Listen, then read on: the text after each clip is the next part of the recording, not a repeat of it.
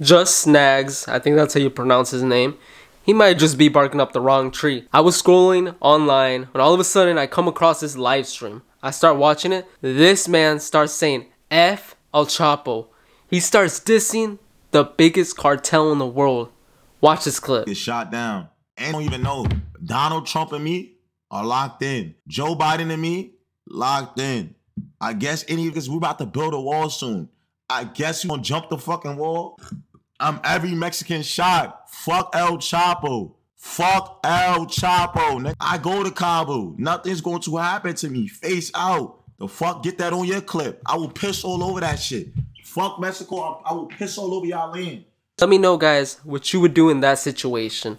I definitely would not want to diss no cartel, bro. I ain't messing with none of those people.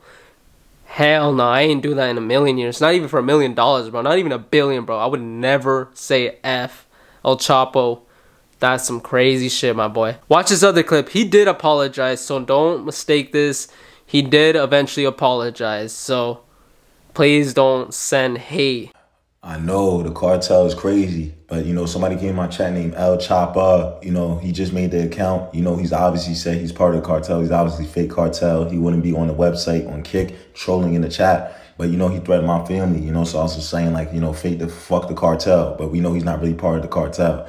You know, uh, the real cartel, I would never disrespect. You know, El Chapa, I know how your man's gets. You know, I know how the cartel gets. They're ruthless, you know, all masked up. They would slice me like, you know what I'm saying, some some salami at the uh, you know, like cold cuts, you know what I'm saying? They they would turn me the cold cuts you know, I, I'm shaking in my voice just imagining how you guys would yoke my little bitch ass up and just like slice me up with no and give no fucks. You know what I'm saying? Like I I, I don't want y'all to you know do nothing to me or my family. You know I'm a bitch. You know I, I just want to apologize. You know to all the Mexican people. I love Mexican. You know I, I think about going to you know um you know, Mexico this year, and I don't want no static with none of y'all. You know, I would love to get on the phone with El Chapo and, and, and him tell me that me and him is good. You know, El Chapo, I would love, would love to be part of the cartel and work for you, big dog. You know what I'm saying?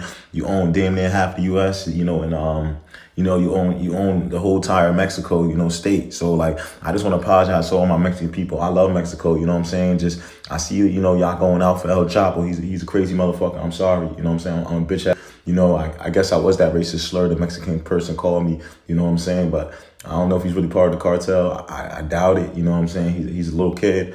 But if, if he is, I'm sorry too. You know what I'm saying? Just uh, leave me alone, leave my family alone.